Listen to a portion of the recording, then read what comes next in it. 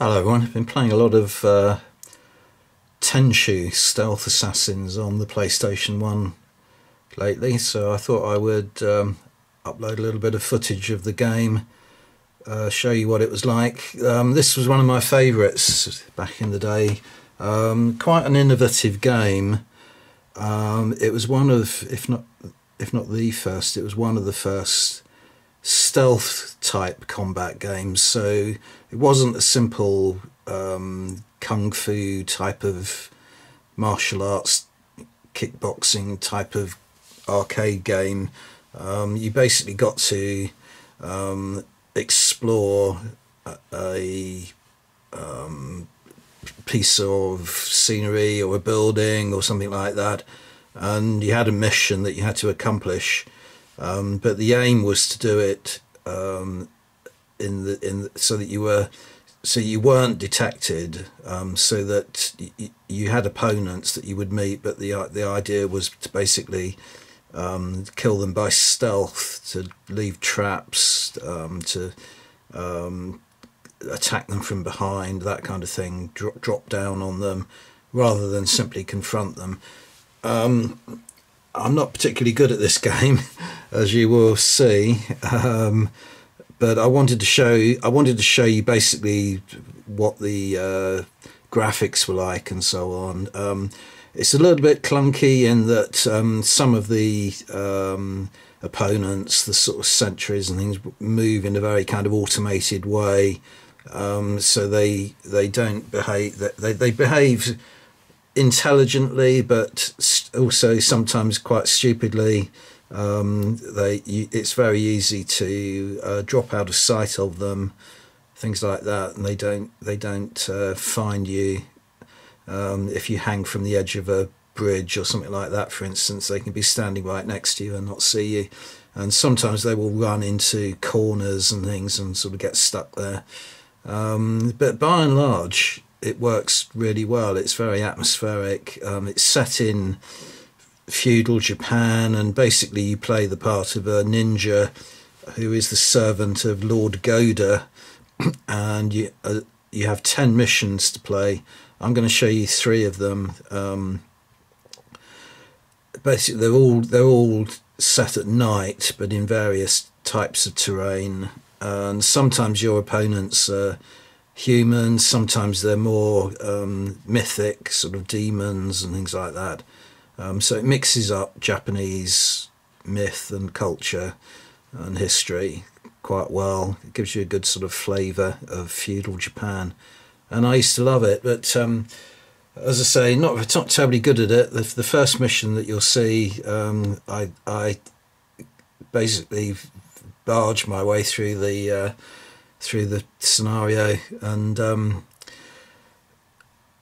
fight more opponents than I kill by stealth. And uh, the very last one, I'm just I've just found it impossible to complete. I know I've done it in the past. Um, I know it is possible, but I think basically. Um, the, the the better you score through each scenario, the better prepared you are for the final scenario. In that you have better weapons and so on, and um, more of them, um, so basically, by the time I got to do the tenth mission, I'd done so appallingly badly on the previous nine that um, I was going into it pretty poorly equipped. Um, but I do manage to kill the uh, the under underling of Lord Mei-Oh, who is the villain. Um, his name is Onikage. I do manage to finish him off, but um, can't when I come to confront Lord Mei-Oh at the end, it's, it's just impossible. I find it impossible to, to beat him. But anyway, enough, enough of my jabber. I'll I'll show you the uh, the three the three kind of favourite scenarios. I think, or the, or the, at least they're exemplary of um, they're good examples of the the type of scenarios you get in the game. Hope you enjoy it, and thanks for watching.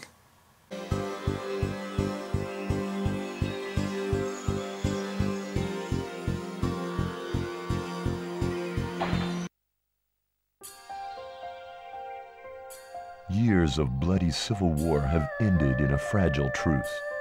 It is a time of peace, but the threat of attack is constant. Death and destruction is the price for complacency. Ever vigilant, Lord Gohda sent you to spy on suspicious movement in a potentially hostile neighboring territory. Lord Gohda's worst fears are true. This neighbor intends to attack with an army of 20,000 men. Lord Gohda must be informed.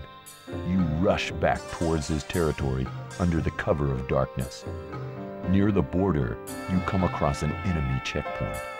There is no way around it. You must get through the checkpoint and deliver your report.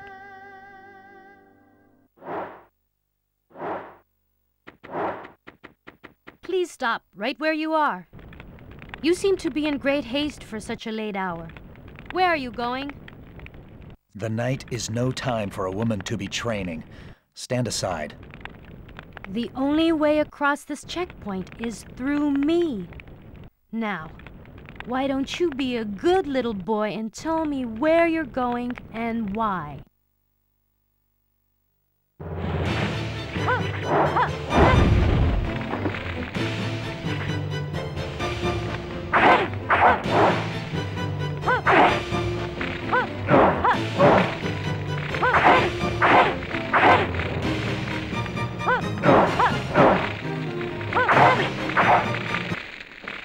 I have failed.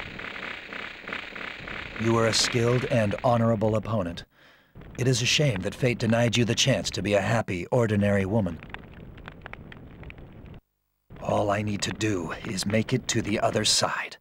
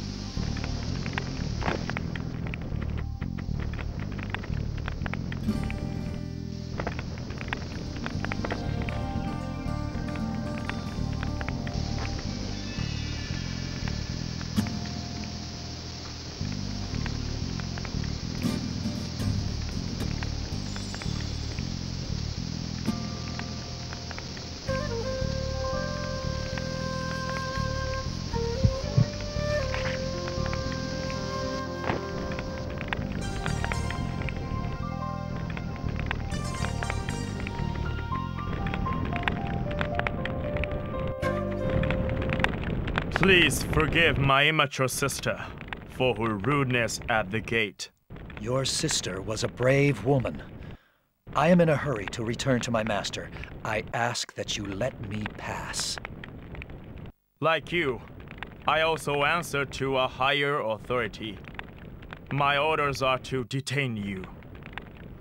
I am Senjuro Akechi, master of Myojin Soga style swordsmanship.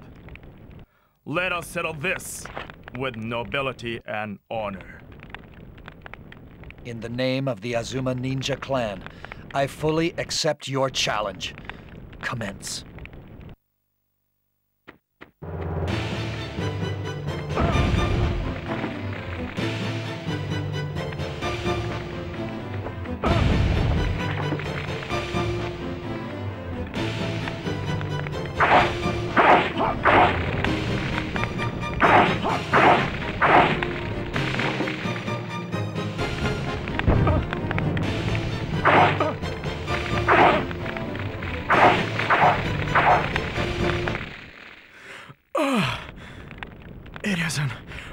To be defeated by someone as skilled as you.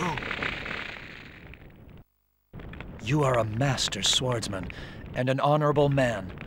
It is a shame we could not fight as allies.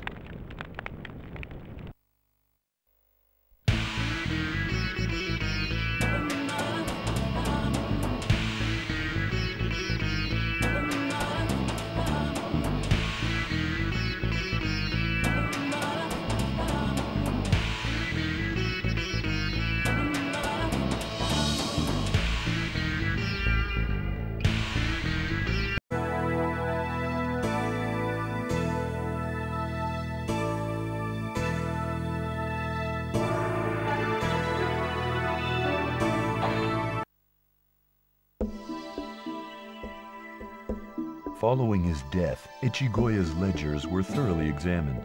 The investigation revealed a link between the merchant and a man called Kataoka, Lord Gohda's finance minister. Kataoka is abusing his position, accepting bribes in return for assigning city construction projects and similar favors. Kataoka happens to be the son-in-law of Sekiya, one of Lord Gohda's most trusted advisors. Lord Gohda knows the truth and could have Kataoka arrested, but does not want to bring unbearable shame on Sekiya. Understanding his master's dilemma, Sekiya has decided to resolve the matter himself and orders you to execute the corrupt finance minister.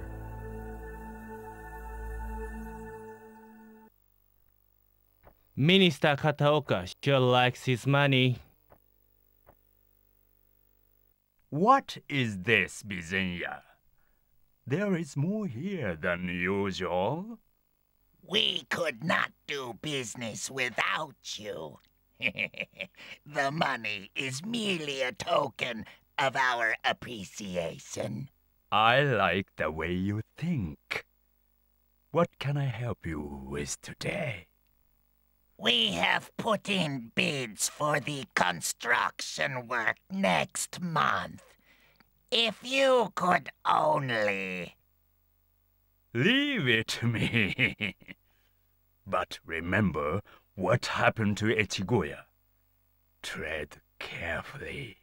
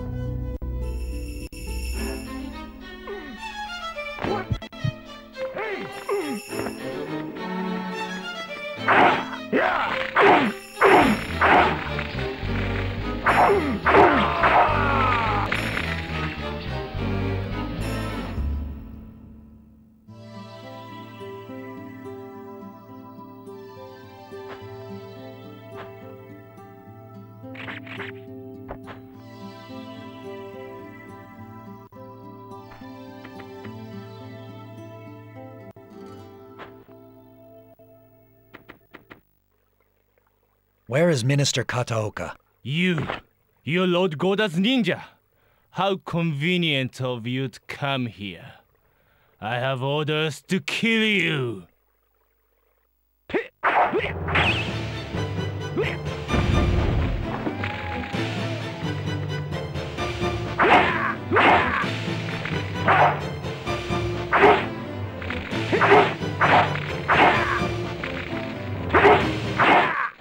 Wait!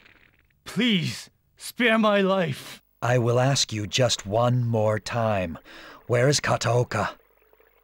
The mustard's out. He, he, he should be back soon.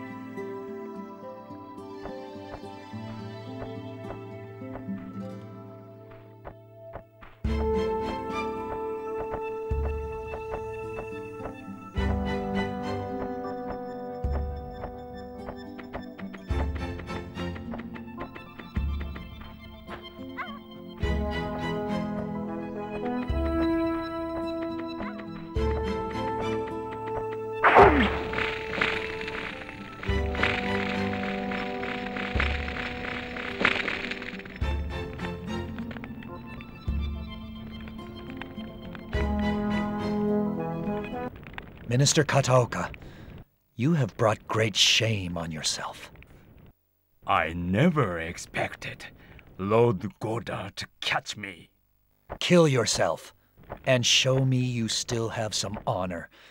I will assist you. Yes, thank you. Tell Lord Gohda of how I died.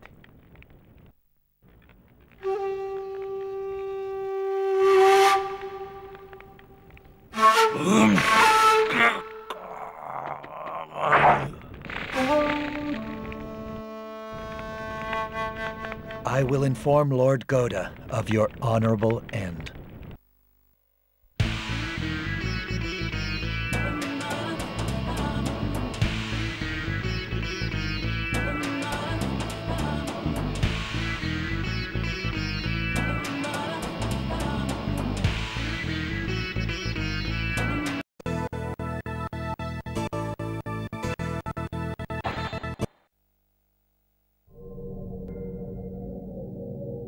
While you were chasing Onikage in the castle, Mei-Oh, the king of hell, kidnapped Princess Kiku, Lord Gohda's only daughter. Lord Gohda and his advisors are too shocked by the kidnapping for any thought or action. With Princess Kiku as a hostage, Mei-Oh's evil power is unlimited.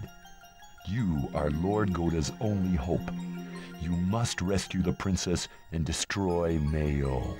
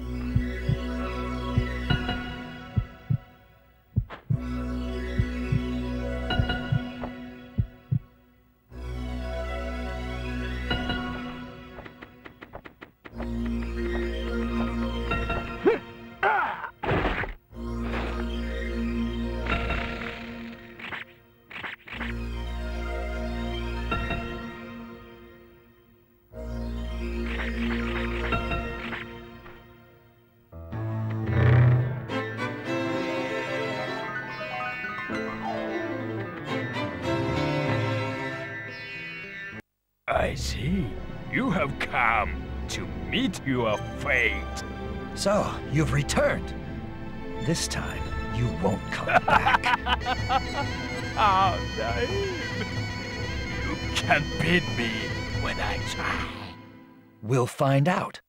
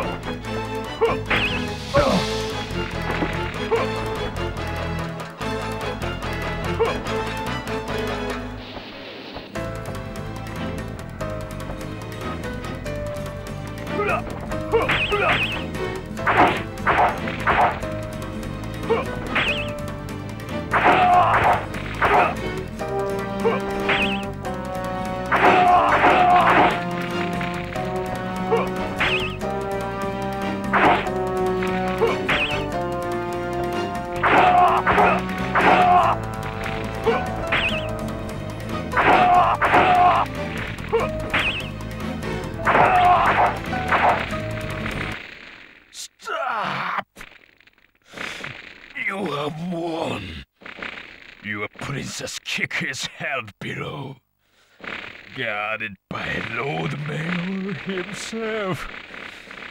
I will see you in hell. Onikage, I destroyed you. And your master Mei-Oh is next.